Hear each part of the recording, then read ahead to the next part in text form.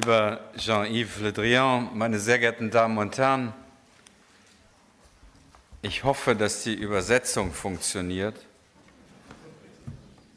weil ich mich gleich mal am Anfang für die Faulheit während meiner Schulbildung entschuldigen muss. Ich habe mich zu sehr mit Politik beschäftigt, anstelle Französisch zu lernen. Das rächt sich heute. Aber ich verspreche, ich werde versuchen, meine rudimentären Kenntnisse Ihrer wunderschönen Sprache aufzubessern, weil ich sie in der Tat als eine der schönsten Sprachen der Welt empfinde aber sie leider nicht ausreichend sprechen kann.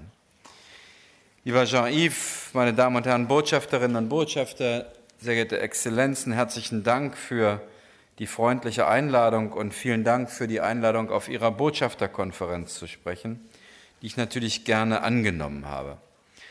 Das ist ja ein bisschen seltsam. Ein deutscher Außenminister spricht vor französischen Botschafterinnen und Botschaftern, denn Normalerweise ist mal eins klar, das Selbstbewusstsein Frankreichs in der Außenpolitik ist jedenfalls uns Deutschen durchaus bekannt und geläufig und dem gegenüberzutreten ist keine ganz einfache Aufgabe. Trotzdem fand ich das sehr freundlich und es zeigt, glaube ich, das, um was es in den nächsten Jahren gehen wird. Denn wenn Sie sich mit den Disruptionen befassen, die wir weltweit erleben, dann hat das ja was damit zu tun, dass man den Eindruck hat, die Welt werde gerade neu vermessen. China wächst, Indien wächst, die Bedeutung Asiens wächst.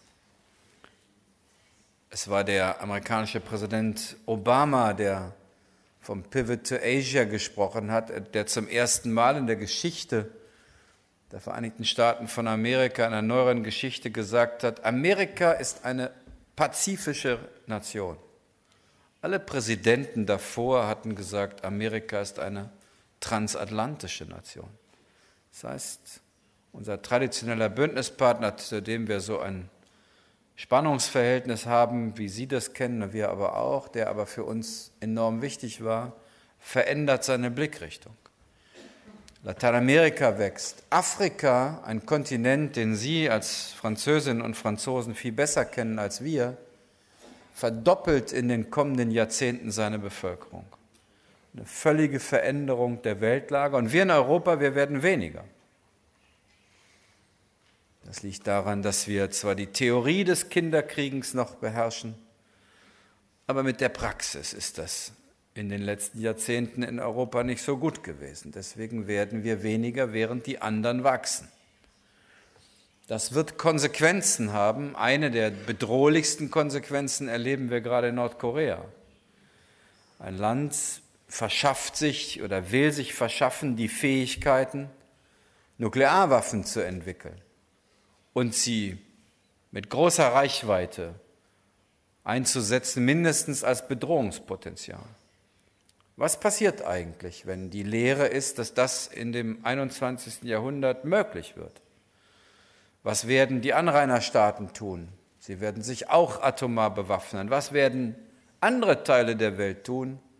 Auch dort wird die Lehre sein, dass offensichtlich nukleare Bewaffnung etwas ist, was nicht mehr den großen traditionellen Nuklearmächten vorbehalten ist. Das heißt, wir haben eine völlige Veränderung vor uns in den nächsten Jahren und ich glaube, wir stehen erst am Anfang der Debatte darüber, wie wir darauf eigentlich reagieren wollen. Wir als Nationalstaaten, aber wie ich glaube, wir vor allen Dingen als Europäerinnen und Europäer reagieren müssen. Denn wir sind in Europa nach innen gegründet worden, allemal von Menschen wie Schumann und vielen anderen. Es war eine Erfahrung des europäischen, zweier riesiger europäischer Kriege, die versuchen sollte, mit der Europäischen Gemeinschaft für Kohle und Stahl und dann später der EWG und am Ende der EU Wohlstand und Frieden und Sicherheit nach innen zu organisieren. Was wir nie gelernt haben als Europäer, Frankreich als Nationalstaat immer schon konnte, aber was wir als Europäer eigentlich nicht gelernt haben, ist, Europa als Akteur nach außen zu verstehen. Frankreich und Großbritannien waren immer zwei Mächte, die aus ihrer ganzen Historie heraus auch ein Verständnis von der Welt hatten und von ihren Vorstellungen, wie sich Frankreich oder Großbritannien in dieser Welt bewegen sollen. Europa als Zusammenschluss von Staaten war das eigentlich nicht vorgesehen. Ich glaube aber, dass wenn unsere Kinder und Enkel in der Welt noch eine Stimme haben sollen, in der Welt von morgen, in der alle anderen wachsen und wir weniger werden, in der sich die ökonomischen Gewichte, aber auch die politischen und die militärischen Gewichte verschieben, wenn in dieser veränderten Welt von morgen unsere Kinder und Enkel eine Stimme haben sollen, dann wird es eine gemeinsame europäische Stimme sein müssen. Selbst das starke Frankreich, selbst das zumindest ökonomisch starke Deutschland werden in der Welt von morgen alleine kein Gehör mehr finden, sondern sie werden einen Teil ihrer scheinbar existierenden nationalen Souveränität de facto verlieren, weil keiner uns zuhört. Und deswegen glaube ich, ist unsere große Aufgabe in den kommenden Jahren, uns darum zu bemühen, unseren Kindern und Enkeln durch eine gemeinsame europäische Stimme in der Welt selbstbewusst und wo immer notwendig auch unabhängig eine Stimme bei der Behandlung der großen Herausforderungen und Konflikte in der Welt zu geben. Für uns Deutsche klingt das vertraut, weil wir nach dem Zweiten Weltkrieg eine Außenpolitik entwickelt haben, die immer bündniseingebunden war. Das war die Voraussetzung für die deutsche Einheit. Sonst hätten uns Frankreich, Großbritannien, Russland oder auch die Vereinigten Staaten die deutsche Einheit nicht erlaubt. Wenn sie nicht mit uns die Erfahrung gemacht hätten, dass wir eingebunden sind in Europäische Union, in das, was wir das westliche Bündnis, die NATO nennen. Frankreich ist viel stärker auch als außenpolitisch eigenständiger Akteur in der Welt tätig. Und deswegen ist vielleicht die Frage, wie kommen wir zu einer gemeinsamen europäischen Vorstellung von der Welt und wie kommen wir zu einem gemeinsamen europäischen Herangehen für Frankreich und Deutschland eine durchaus unterschiedliche Herausforderung. Wir glauben aber, dass ohne die Kooperation dieser beiden Länder eine solche Rolle Europas in der Welt nicht wird definiert werden können. Der deutsch-französische Motor ist also nicht nur aus unserer Sicht nach innen von Bedeutung, sondern allemal auch nach außen. Dabei hat uns Frankreich vieles voraus, aber ich glaube, dass wir gemeinsam doch einen solchen Weg gehen können. Die Europäische Union, die internationale Gemeinschaft insgesamt steht an einer ganzen Reihe von Scheidewegen. Ich finde, am beeindruckendsten ist dabei das Beispiel, was wir aus, Amerik aus Amerika sehen. Nicht, weil es Amerika ist, sondern weil mein Eindruck ist, dass das, was sich dort gerade tut, sich scheinbar verbreitet. Vor einigen Wochen gab es in der New York Times einen Artikel, ich glaube von McMaster und anderen, die beschrieben die Welt, wie sie sie sehen. Sie haben gesagt, na ja, so bisher war die Vorstellung, dass die Welt Verabredungen treffen soll, Verträge schließen soll, sozusagen sichere Grundlagen für das Handeln aller schaffen soll. Und darauf aufbauend entwickelt sich dann auch Wettbewerb und internationale Politik. Und dann sagen sie, das ist eine falsche Vorstellung. Die Welt besteht nicht aus Verträgen und Verabredungen, sondern die Welt ist eine Kampfbahn, eine Arena, in der der Stärkere sich durchsetzt und der Stärkere sich Bündnispartner sucht. Das kann mal der eine, mal der andere sein. Das ist eine Abkehr von einer Vorstellung, die bislang den Westen geeinigt hat. Der Westen ist ja keine geografische Dimension, sondern eine politische. Die Idee von Freiheit und Recht, aber vor allen Dingen von der Stärke des Rechts, auf deren Grundlage sich internationale Spielregeln entwickeln. Und wenn die Vereinigten Staaten von Amerika sagen, nein, nicht die Stärke des Rechts ist Grundlage unserer Politik, sondern das Recht des Stärkeren, dann ist das ein gefährliches Beispiel. Es macht den Westen schwächer, weil ohne die Vereinigten Staaten von Amerika der Westen mit seiner Idee schwächer wird. Vor allen Dingen aber wird die Frage sein, wer stößt in dieses Vakuum? Und es gibt andere, die derzeit scheinbar auch beginnen, so ein fast schon sozialdarwinistisches Verhältnis zur internationalen Politik zu entwickeln, bei der die Vorstellung existiert, nicht nur, dass die Welt eine Kampfbahn ist, eine Arena, auf der gerungen wird, sondern der am Ende auch nur der das Recht hat, zu überleben, der stark genug ist. Das ist eine Vorstellung der Politik als Kampf, die wir inzwischen auch in Teilen Europas finden. Die Vorstellung, in der, wenn Sie sich genau anschauen, was in der polnischen Innenpolitik debattiert wird, dann hat das viel mit der Frage zu tun, dass sozusagen nur im Konflikt, nur im Kampf am Ende eine Nation bestehen kann.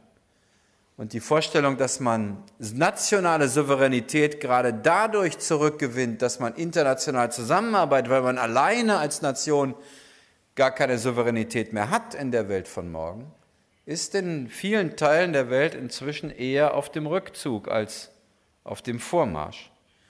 Deshalb glaube ich, dass wir uns diesen Veränderungen als gemeinsame Kraft Deutschland und Frankreich entgegenstellen müssen. Es ist in diesen Verwerfungen, glaube ich, besonders wichtig, dass Deutschland und Frankreich gleichzeitig den politischen Mut haben, entschlossen diesem Trend sich entgegenzustellen. Aus meiner Sicht gibt es drei Themen, die besonders im Vordergrund stehen. Und bitte entschuldigen Sie, dass ich jetzt nicht irgendwie versuche, eine Tour de Raison durch die unterschiedlichen Konflikte dieser Welt zu machen. Die kennen Sie im Zweifel besser als ich, weil Sie sozusagen da zu Hause sind als Botschafterinnen und Botschafter ihres Landes.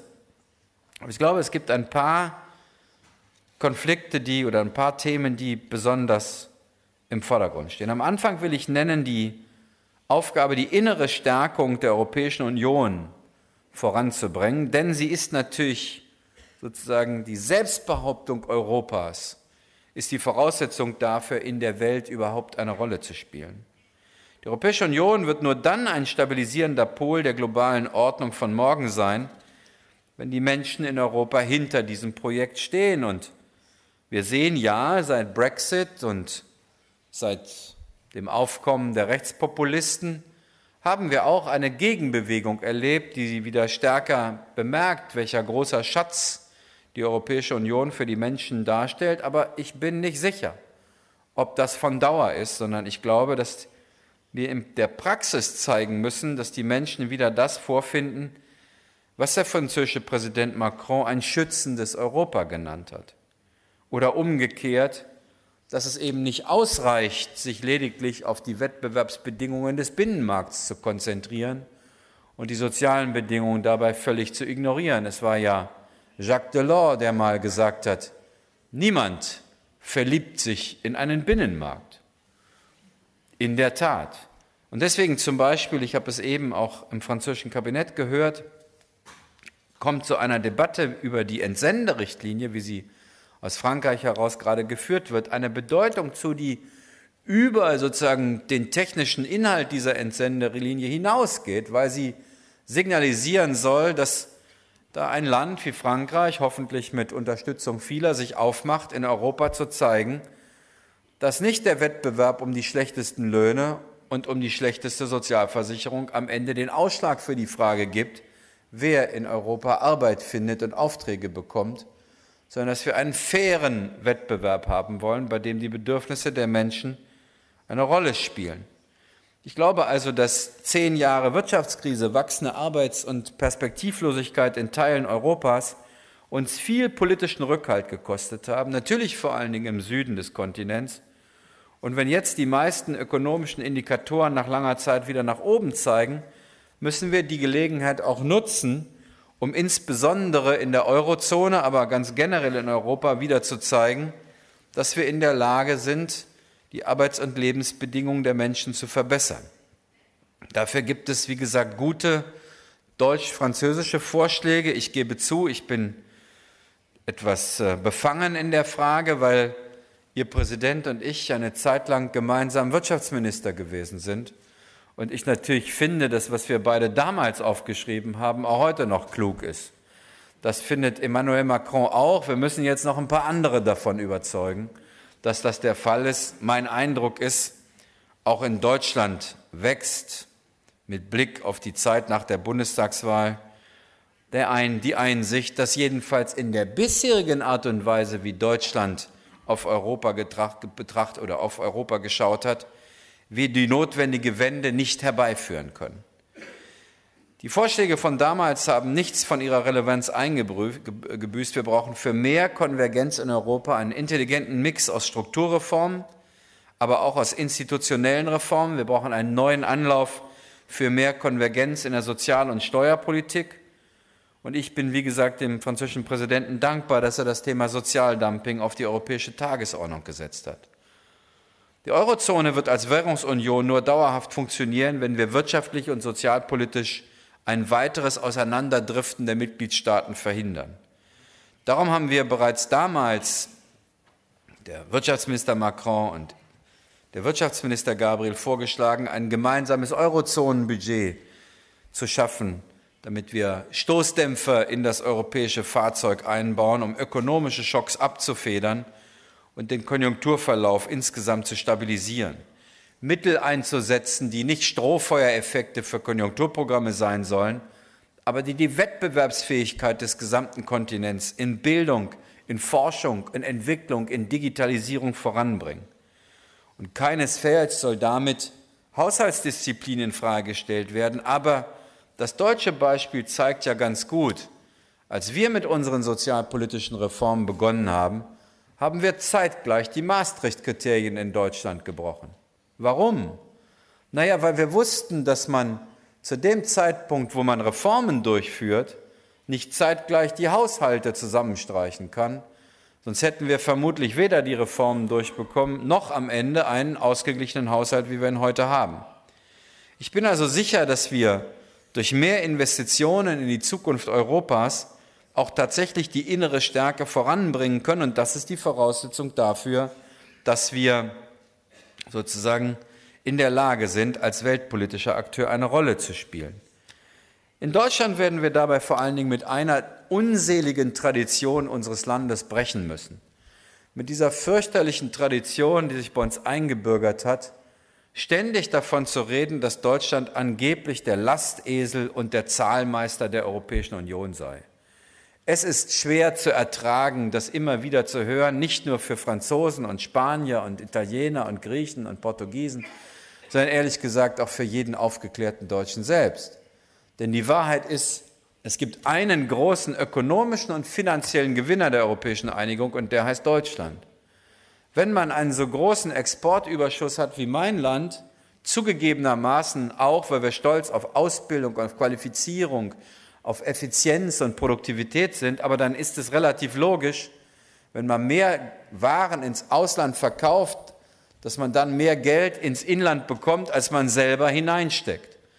Und 60 Prozent unserer Waren verkaufen wir in die Europäische Union und nicht nach China oder in die USA, sodass es im deutschen Interesse ist, in die Europäische Union zu investieren, weil sozusagen unser vitales Interesse ist, denn nur dann, wenn es unseren europäischen Nachbarn gut geht, wird es auch unserem Land gut gehen. Deswegen plädiere ich sehr dafür, dass wir mit einer unseligen Tradition in Deutschland brechen, die da gelautet hat, dass Deutschland immer darum kämpfen muss, in der Europäischen Union seine Nettozahlerposition zu verringern, meistens mit den bekannten Europafreunden aus Großbritannien zusammen mit einem Ergebnis, der jedenfalls für die europäischen Haushalte und für mein eigenes Land nicht besonders gut war. Deswegen ist unser Plädoyer zu sagen, lasst uns lieber offensiv im Zusammenhang auch mit den Vorschlägen des französischen Präsidenten sogar bereit sein, mehr aus Deutschland heraus in die Wettbewerbsfähigkeit, in die Zukunftsinvestitionen Europas zu investieren, als permanent dieser Erzählung hinterherzulaufen, wir müssten die Nettoposition Deutschlands reduzieren. Nicht als Geschenk an Europa, nicht als sozusagen etwas äh, von Großzügigkeit, sondern im eigenen wohlverstandenen Interesse und gebunden an Reformen, wie sie der französische Präsident aus meiner Sicht zu Recht für die Europäische Union und Europa insgesamt vorsieht. Das ist in meinem Land auch nicht besonders populär, das weiß ich. Aber wenn Sie sich zurückerinnern, bei der Gründungsphase der Europäischen Union, ich glaube nicht, dass es in Frankreich damals besonders populär war, ein paar Jahre nach dem Zweiten Weltkrieg ausgerechnet uns Deutsche an den Tisch der Europäischen Union einzuladen. Ich glaube, die Staatsmänner Frankreichs, Belgiens, der Niederlande, Luxemburgs müssen ziemlich mutige Menschen gewesen sein, in dieser Zeit ausgerechnet Deutschland einzuladen, waren wir doch gerade zuvor als Mörder und Brandschützer, Brandstifter quer durch diese Länder gezogen. Trotzdem hatten die den Mut, das zu machen. Insofern finde ich, sollten wir in Deutschland mindestens ebenso mutig sein. Ehrlich gesagt, leben wir in glücklichen Zeiten. Damals ging es den Menschen um ihr Leben, heute geht es immer nur ums Geld. Was für eine glückliche Generation, die nicht übers Leben reden muss, sondern nur übers Geld. Und ich glaube, dass Deutschland eher mehr investieren muss in die Europäische Union, gebunden an diese ökonomischen Reformen, die Präsident Macron vorschlägt. Meine Damen und Herren, darüber hinaus allerdings glaube ich, dass wir Europa zu mehr machen müssen als zu einem ökonomischen Projekt. Das, was ich vorhin gemeint habe mit einem weltpolitischen Akteur. Ich will nur wenige Beispiele nennen dafür. Schauen Sie auf das, was sich gerade in der Migrationspolitik passiert. Die Initiative Frankreichs zur Migration und zur Flüchtlinge zeigt, wie wichtig es ist, sich eine gemeinsame Strategie mit Blick auf Afrika oder man muss vielleicht sogar sagen, auf die unterschiedlichen Teile Afrikas vorzunehmen. Solange beispielsweise in Libyen, Frankreich, Italien, Deutschland, andere alleine unterwegs sind, solange nicht dahinter eine gemeinsame europäische Strategie steht, werden immer die Kriegsparteien und Bürgerkriegsparteien, die Konfliktparteien Libyens versuchen, irgendjemanden zu finden, hinter dem sie sich verstecken können. Wenn es uns nicht gelingt, beispielsweise eine eigene Strategie mit Blick auf China zu entwickeln, dann wird es China gelingen, Europa zu spalten. Ich erzähle gern die Geschichte, weil sie so typisch ist für das Verhältnis, dass es ja 16 Staaten gibt in Europa, zum Teil Mitgliedstaaten der Europäischen Union, zum Teil nicht, die mit China eine Gruppe bilden. Die Europäer nennen das 16 plus 1. Na, die Chinesen nennen das 1 plus 16. Mein Eindruck ist, die Reihenfolge bildet eher die Realität ab, als die Wunschvorstellung, es ginge um 16 plus 1. Und was erleben wir? In Abstimmungsprozessen der Staats- und Regierungschefs ist es inzwischen nicht mehr möglich gewesen, ein Urteil des Internationalen Seegerichtshofs zur Freedom of Navigation in der chinesischen See einvernehmlich schlicht und ergreifend zu akzeptieren und durchzuwinken, weil es Teile der europäischen Mitgliedstaaten gibt, die sagen, sie möchten dem nicht zustimmen, weil sie in keinen Konflikt mit China geraten wollen. In letzt, letztens hat die Griechenland sich entschieden, nicht zuzustimmen, weil sie die Investition Chinas in Piräus nicht gefährden wollten. Und wer sich mal anschaut, diese wunderbare Karte von One Belt, One Road, dieser Initiative, die manche in Europa ja irgendwie noch an eine historische Reminiszenz an Marco Polo empfinden, der weiß, dahinter steckt eine große geopolitische, kulturelle, ökonomische und am Ende im Zweifel auch militärische Strategie, der wir bislang nichts entgegenzusetzen haben. Im Gegenteil, wir fahren da alle hin und freuen uns, dass wir eingeladen werden und auch eine Rede halten dürfen. Aber ich glaube, China wird am Ende uns nur ernst nehmen, wenn es eine europäische Strategie gibt, natürlich die auf Partnerschaft mit China ausgerichtet ist, selbstverständlich, die aber auch, sagen wir mal, ein bisschen zugespitzt von China verlangt, dass es nicht nur von uns sagt, wir mögen doch bitte mit Blick auf China eine Ein-China-Politik betreiben, sondern wir müssen natürlich auch von China verlangen, dass sie bitte eine Ein-Europa-Politik betreiben und uns nicht versuchen zu spalten. Und wie soll unser Verhältnis mit Blick auf China zu den Vereinigten Staaten sein? Wie entwickelt sich unser Verhältnis zu Russland? Und wie ist sozusagen die geopolitische Aufstellung dabei? All das, finde ich, muss in Zukunft etwas sein, wo wir in Europa stärker auf eine gemeinsame europäische Außenpolitik setzen, bei der natürlich Deutsche und Franzosen und viele andere eigene Impulse haben, bei der wir aber, glaube ich, schon dazu beitragen müssen, dass Europa lernt, ein weltpolitischer Akteur zu werden. Übrigens, das wird für uns Deutsche schwierige Lernprozesse bedeuten.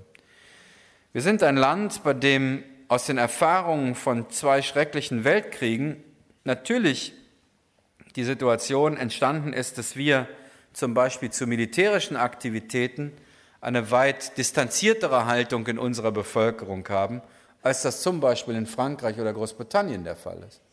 Wir sind einfach zu oft als Täter in der Welt unterwegs geworden und deswegen gibt es eine große Zurückhaltung dem gegenüber. Das wird sich ändern müssen, jedenfalls dann, wenn wir sagen, Europa soll ein weltpolitischer Akteur sein, dann werden wir in einem der Konflikte der Zukunft nicht mehr darauf warten können, dass sich vielleicht ein amerikanischer und ein russischer Außenminister auf irgendeine Roadmap einigen und dann auch darauf verständigen, wie ein Waffenstillstand im Zweifel durchgesetzt werden kann, sondern dann werden wir gemeinschaftlich als Europäer mit unterschiedlichen Fähigkeiten dabei auch eine Rolle spielen müssen, was in Deutschland zur Folge hat, dass wenn wir solche Verabredungen mit Frankreich, den Niederlanden und anderen treffen, die sich auch darauf verlassen können müssen, dass wir im Zweifel unsere Fähigkeiten zur Verfügung stellen und nicht mit dem Hinweis, Deutschland habe eine Parlamentsarmee, dann sagt, wir sind aber leider aktuell wegen Wahlkampf oder weil der Bundestag schlechte Laune hat oder aus welchen Gründen auch immer nicht in der Lage, dabei mitzumachen. Eine in Deutschland nicht diskutierte Frage und garantiert auch nicht einfach zu beantwortende Frage. Das waren zwei der Punkte, die mir heute auf dieser Konferenz wichtig waren. Also einerseits, wie ich finde, die dringende Notwendigkeit, Europa nach innen wieder zu stärken, dafür zu sorgen, dass Menschen in Europa Vertrauen schaffen, weil wir sie nicht nur in, einen Wett, in ein Wettbewerbseuropa schicken und darüber hinaus eben auch Schritt für Schritt zu erarbeiten, dass Europa so etwas wie eine weltpolitische Vorstellung entwickelt, und auch gemeinschaftlich handelt. Ich glaube, dass das Zeit brauchen wird, aber ich glaube, dass darin auch eine Chance besteht, denn wenn Sie heute Umfragen machen, was Menschen von Europa erwarten, dann finden Sie, jedenfalls in meinem Land, ich glaube sogar weit darüber hinaus, sehr viel Zustimmung dann, wenn Sie sagen, Europa soll in Zukunft auch so etwas wie die Interessenvertretung der europäischen Bürgerinnen und Bürger in der Welt sein. Sie sollen zusammenarbeiten in zentralen Fragen der Verteidigungspolitik, der Sicherheitspolitik, dem Schutz der Grenzen, der Außenpolitik. Sie sollen gemeinschaftliche Positionen haben gegenüber anderen wie Russland, der Türkei, den Vereinigten Staaten oder China. Überall dort finden wir große Zustimmung zur Europäischen Union, eine, die über das hinausgeht, was wir vielleicht in der Vergangenheit erwartet haben. Das sind sozusagen meine Vorstellungen davon. Und deswegen glaube ich, dass Außen- und Innenpolitik eigentlich in der Europapolitik unserer beiden Länder verschmelzen müssen. Und danke herzlich für die große Bereitschaft des französischen Außenministeriums und der französischen Regierung und ihres Präsidenten, daran zu arbeiten. Es wird Herausforderungen für beide Seiten bedeuten und für andere mehr. Aber ich bin ganz optimistisch, dass wir es schaffen können, dass dieses schützende Europa nicht nur nach innen wirkt, sondern auch nach außen seine Schutz und Funktion entwickelt und dass deshalb unsere Kinder und Enkel noch verstehen, warum die Europäische Union nicht nur in der Vergangenheit, sondern auch in der Zukunft eine unverzichtbare Rolle spielen wird. Vielen Dank für Ihre Aufmerksamkeit.